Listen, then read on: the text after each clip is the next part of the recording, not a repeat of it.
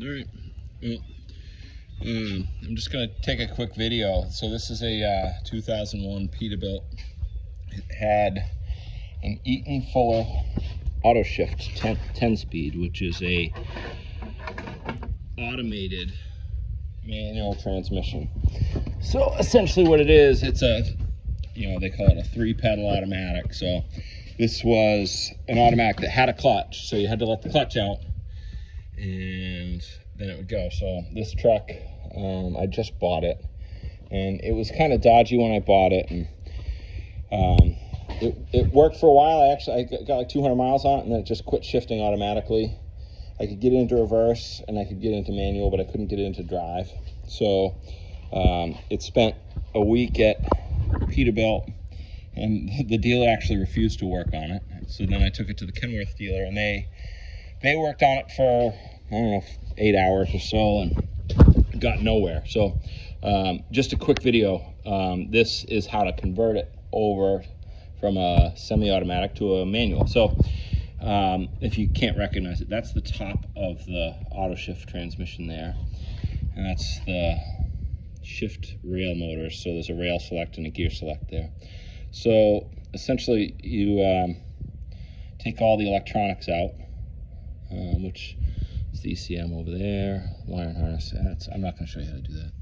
If you're going to do this, you're going to figure that stuff out. So um, you take the rail selector off, you take the shift rail assembly off, and you call up these guys. Um, I bought this um, from a place down in Florida, but this is where it all came from. So it's a shift bar housing. So it's a 2910R for reman. The gasket, the shift lever assembly, and the shift valve. So that's all the stuff you need to convert your transmission over. Now, the shift bar housing, there's a couple options for it. Uh, I'm not certain, you know, where you want your gear shifter, and uh, and I believe that's what the difference is between them. So, and then the other piece of the puzzle is right here. So, the biggest difference between a 10-speed manual and a 10-speed auto shift is there's no mechanical interlock to prohibit you from making a range selection while it's in gear. So you could hit the flip the switch and change gears.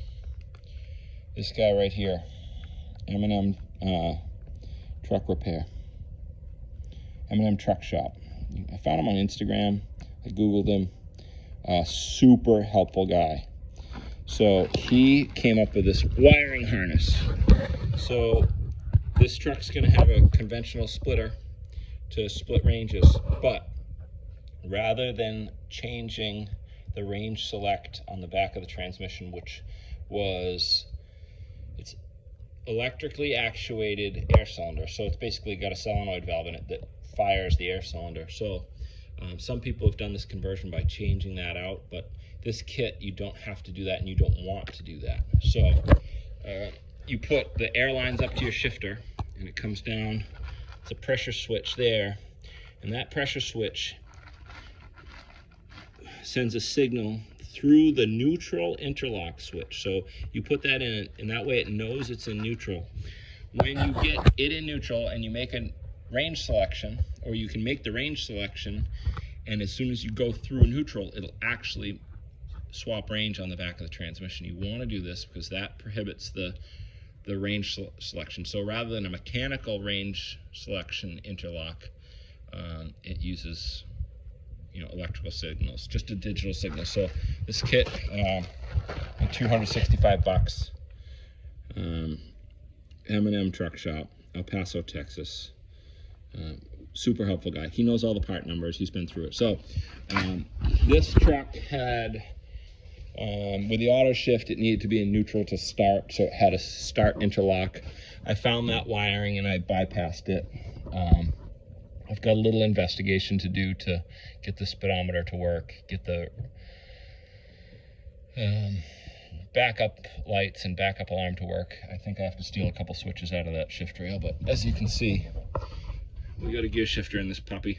the new shift housing was relatively simple to drop in. I just made sure the transmission wasn't neutral when I took it out, so I figured out what neutral was on this housing to drop it in. I just lined the rails up, dropped it in. The gasket kind of sucked to put on. I should have glued the gasket down, but I didn't, so it fought me. But um, it does actually fit up through the floor in this Peterbilt. So uh, the gear shift lever they gave me super long.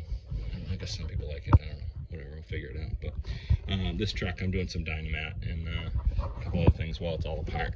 It was way easier to work on with the seats out. So, um, but that's pretty much it.